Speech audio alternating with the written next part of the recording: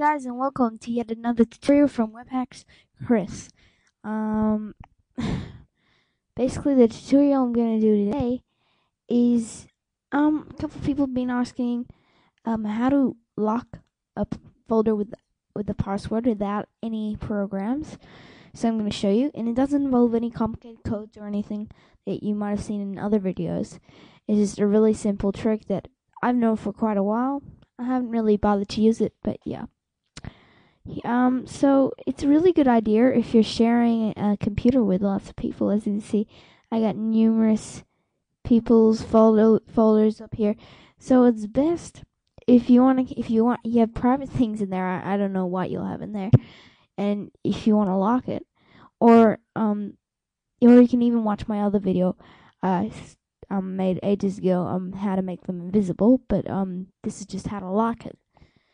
So you can't have WinRAR installed for this. I'm sorry, that's a major um bad thing about it, but um so basically this is only if you use don't use WinRAR. Okay, so you have your folder. This is just an example one. Um, right, what you want to do is you want to right um, right click it and click send to compressed zipped folder and it's going to create another folder right there. Um, if you don't have much stuff we'll create the folder instantly but if you don't you do then that's it's going to take a while. Anyway you click on the zip folder and inside that will be the folder. We'll have your stuff still. Nothing has changed. Just go to file and click add a password. So make the password something that only you know, not something that people can figure out easily. Okay. So nothing seems to have happened. Click out of that. Let's just delete this this one because you don't need it. Click it. Click it. Try to open something. It'll ask you It will ask you for a password. You type in the wrong one.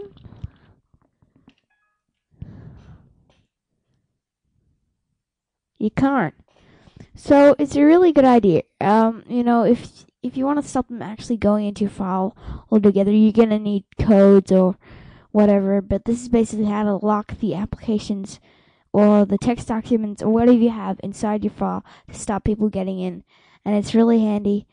And um, I think I'm going to do it to all my files because, as you know, little brothers, sisters, and cousins do have the urge to sometimes look through your folders, just like looking through your diary, through your room and stuff like that. So, yeah, it's a really handy trick. So I hope you all enjoyed it, and um, please remember to comment, rate, subscribe, suggest, and yeah, um, because all your advice is, yeah is needed and if you want to request a video, if you're stuck on something, just go ahead and do it. Thank you, and uh, please remember to check out um, youtube.com slash webhackshelper.